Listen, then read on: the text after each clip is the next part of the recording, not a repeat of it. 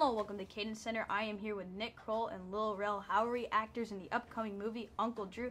So let's settle this really quick. Between the two of you, who'd win in a game of one on one? It's been a debate all day because we haven't mm. played yet. So we're gonna play soon. Actually. We will play, but I don't think he can beat me. if you ask, we were told earlier, if you asked some of the NBA players who they thought was a better player, did you ask any of them? No, I do not. Well, you'll find out that they think Nick Kroll might be the better And player. which is why we're gonna play and Yeah. we're gonna film it and I'm gonna send it to everybody. Yeah, specifically at Caden Center. First and foremost, Can't first- wait for yeah, that. Yeah. Did either of you play basketball when you were younger? Yes, I, I did. I, basketball has been a part of my life for a very, very, very, very, very, very long time.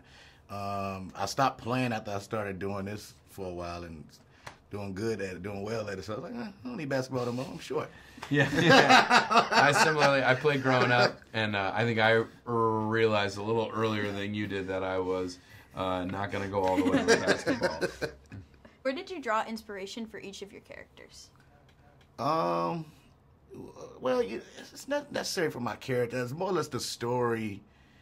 Um, I, I look at a bunch of different sports movies that inspired me to even want to do this movie, like Space Jam and uh, all these heartfelt things. I think with Dax, Dax is so much different than me, and I don't, I don't know a lot of people like Dax.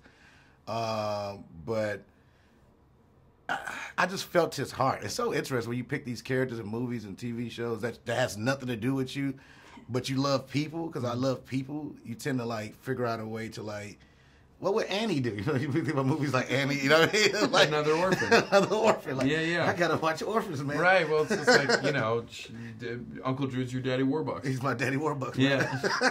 Yeah. um, and I think for me, I've been saying this. I, I know it sounds crazy, but uh, Michael Jordan is um, my inspiration for Mookie because I think you think like a guy like Michael who had won everything would lose his competitive spirit, but he's so competitive and he found his. And I think in this movie, Mookie just keeps coming at Dax and he won't stop, and it's kind of like. Uh, you know Michael Jordan, and so people kind of say that I'm the Michael Jordan of basketball. What? And what was your uh, favorite memory while filming? Uh, it's a lot of the basketball play. To Yeah. be quite honest with you, I, one of my favorite things.